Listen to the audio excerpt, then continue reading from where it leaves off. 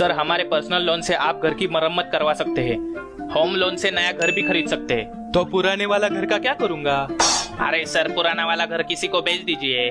किसको बेचू? रिश्तेदार को या पड़ोसी को? वो तो आपके ऊपर है ना सर? घर मेरे ऊपर नहीं गाँव में है। अबे वो छोड़िए सर। आप बस मुझे दो फ़ोटो और खाते की स्टेटमेंट दीजिए। खाते वक्त स्टेटमेंट कौन बनाता है? सर बैंक खाते की स्टेटमेंट लेकिन मैंने बैंक में कभी खाना नहीं खाया। साले बैंक अकाउंट स्टेटमेंट खोदरी के इसमें तू पैसा रखता है। पैसे तो मैं जेब में रखता हूँ। सर आप मज़ाक मत कीजिए खाते का नंबर दीजिए। आपका काम अपने आप हो जाएगा। लेकिन मेरी मम्मी कहती है काम अपने आप नहीं होता मेहनत करनी पड़ती है।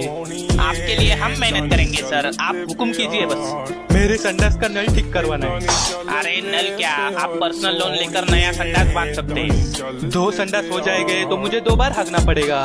सर आप तो मज़ाक करने लगे। संडास में बैठकर मज़ाक नहीं करते। अरे आप संडास छोड़ दीजिए ना। अभी छोड़ दिया तो पैंट गंदी हो जाएगी मेरी। अबे सांड की गांड, एक ही बात कितनी बार बोलेगा? दिमाग खराब है क्या? दिमाग नहीं, संडास का नल खराब है।